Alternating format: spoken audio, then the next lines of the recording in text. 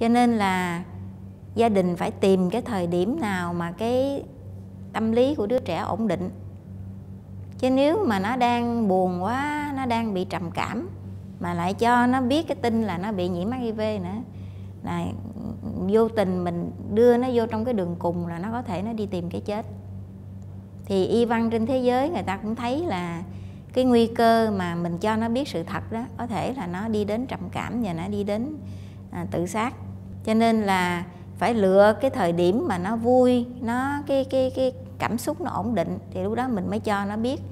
Mà mình cho nó biết từ từ chứ không phải cho nó biết liền một lúc. Đó phải đây là một cái quy trình à, nó diễn tiến với thời gian có thể là năm này qua năm nọ. Mỗi lần mình gặp nó mình nói một chút một chút. Đó, rồi từ từ thì nó mới chấp nhận được. Đó, cho nên là cần phải có sự phối hợp của gia đình mà chính gia đình là cái người giải thích cho nó trước. Rồi bác sĩ chỉ là bổ sung những cái kiến thức mà gia đình chưa có đủ để cho nó hiểu thêm thôi. Nhưng mà mình dựa trên những cái câu hỏi của đứa nhỏ. Chừng nào nó đặt câu hỏi thì lúc đó mình trả lời. Và cái nguyên tắc là mình không nói dối đứa nhỏ. Tại vì nếu mà người lớn mà nói dối đứa nhỏ một lần rồi đó, thì sau này nói cái gì là nó sẽ không có tin người lớn nữa.